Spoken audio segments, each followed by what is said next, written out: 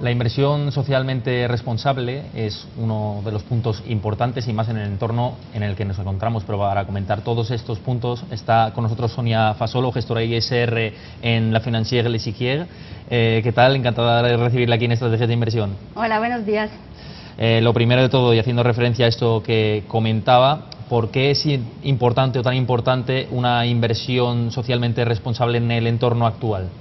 Porque el análisis de criterios extrafinancieros, eh, que sea ambientales, sociales o de gobierno corporativo, es una ayuda para mejor eh, estimar nuestros riesgos de las empresas, las empresas en las que invertimos.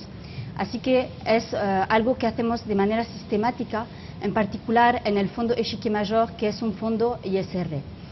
Ah, para nosotros, ah, este fondo es un fondo de leadership que invierte en líderes y el análisis de ah, criterios no financieros nos ayuda a mejor comprender eh, de qué modo el modelo económico de esta empresa es sostenible. Por eso es una parte importante de nuestro proceso de inversión.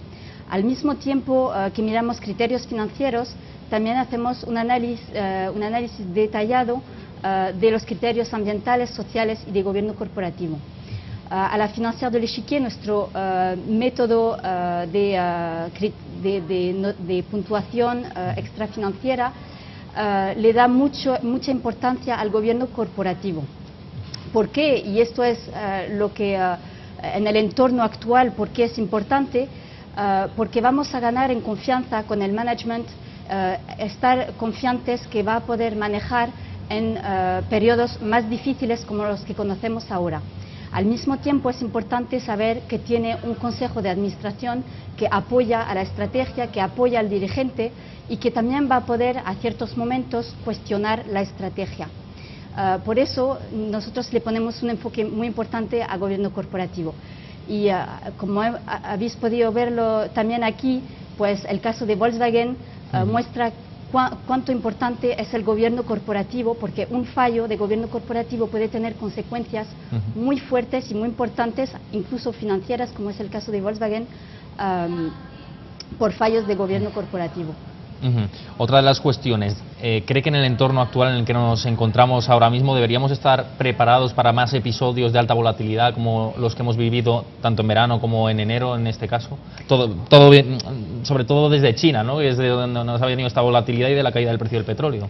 Sí, la volatilidad nosotros eh, para 2016 esperamos que va a permanecer y eh, nos hemos preparado a esto.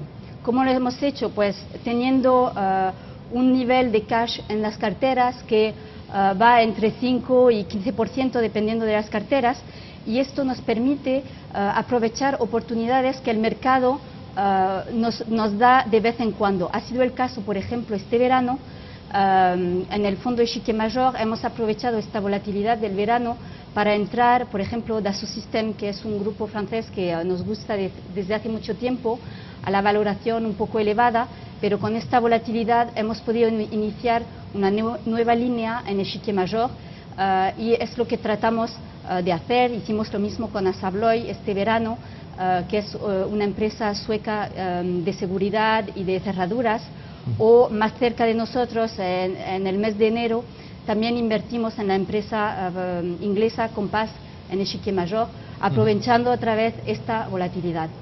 Otro de los puntos que comentaba era la caída del precio del petróleo, cómo ha impactado y en general em, cómo podría seguir impactando a las compañías europeas este descenso del precio del crudo y si ve valor en alguna de este tipo de compañías, con, si se podría sacar ventaja con este descenso que han, sufrido.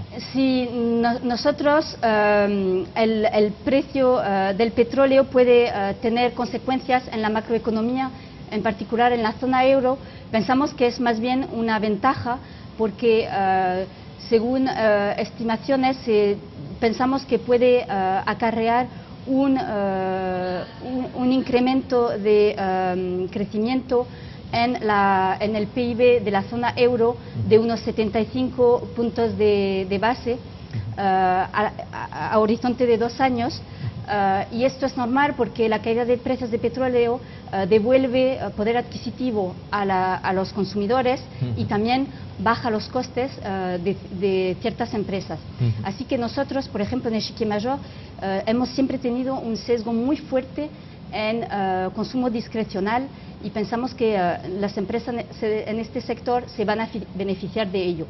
Luego también hay empresas de transportes, aerolíneas, o de cruceros que también se benefician de esta caída de, de precio de, de, petróleo. Así que no estamos muy uh, nerviosos por eso, pero mejor preferimos ver las oportunidades y lo que va a pasar en la zona euro, lo, el, el, impulso que va a dar al crecimiento de la zona euro. En este escenario, con todo este clima de incertidumbre que, del, que estamos desgranando, eh, ¿apostarían más por un stock picking en este momento y en concreto qué tipo de compañías seleccionarían, además haciendo mención al ISR que comentaba anteriormente.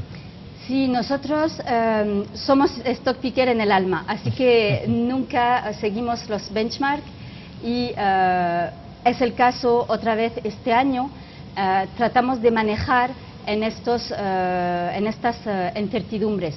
Uh, como ya lo he dicho, el ISR es también una ayuda porque vamos a calcular más, más los, riesgos. Y para nosotros, por ejemplo, en Echiquier tenemos do, dos filtros que llegan al mismo tiempo, que es el filtro financiero, así que para Echiquier seguimos uh, fieles a nuestra estrategia y a nuestra filosofía de inversión, que es de invertir en líderes de crecimiento y hoy, debido a la volatilidad, pues ponemos un enfoque más fuerte a tener en la cartera uh, empresas que uh, van a tener un crecimiento más autónomo y un poco más alejado del, de, de, las uh, incertidumbres del, de, que puede acarrear el ciclo.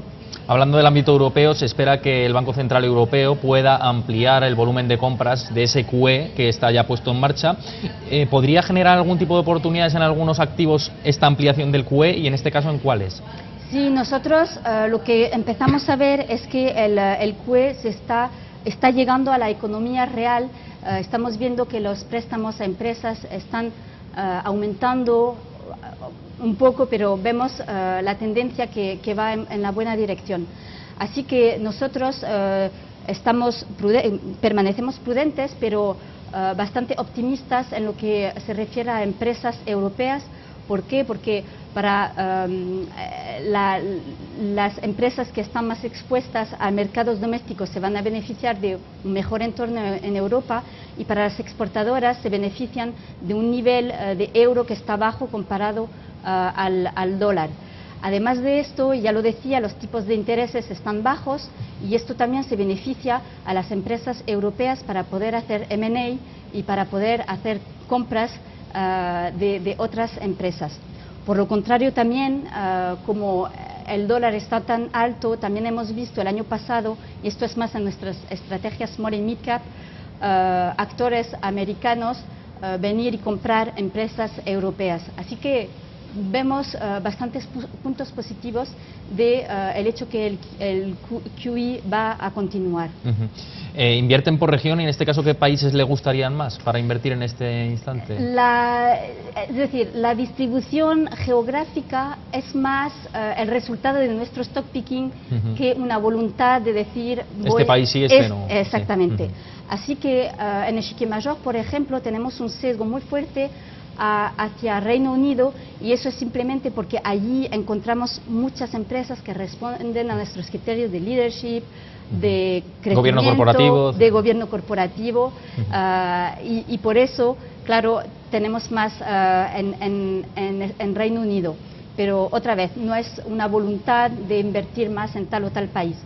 Y para darle un ejemplo, porque estamos aquí en Madrid, pues uh, en la cartera de Chique Mayor tenemos tres posiciones en valores españoles, que son Inditex, Amadeus y Grifols, que están en los primeros pesos del fondo. Uh -huh. Y si nos centramos en sectores, ¿cuáles serían sus sectores favoritos en este momento? Um, nosotros, más que sectores, uh, tratamos de uh, fijar un marco con temas que nos gustan y uh, entre esos temas lo, lo, que buscamos hoy son, por ejemplo, valores que uh, se van a beneficiar de la recuperación del ciclo de la construcción en Europa. Así que, por ejemplo, comentaba Assa Abloy antes, uh -huh. o también la empresa suiza Geberit, que hace um, cadenas empotradas para la, los aseos. y estas empresas se van a beneficiar de un mejor entorno eh, en Europa. Luego, otro tema que nos gusta son las empresas que son capaces de generar eh, flujos de caja, eh, cualquier sea el entorno macroeconómico, puede ser valores de los telecom como Vodafone o también el valor francés SPI de ingeniería eléctrica que tenemos en el fondo Echiquier Agresor. Muy bien, Sonia, encantados de recibirla aquí en Estrategias de Inversión. Ya sabe que está invitada siempre que quiera aquí. Vale, muchísimas gracias. Muchas gracias. Esto ha sido todo y recuerden que pueden seguir informados de toda la actualidad económica en estrategiasdeinversión.com.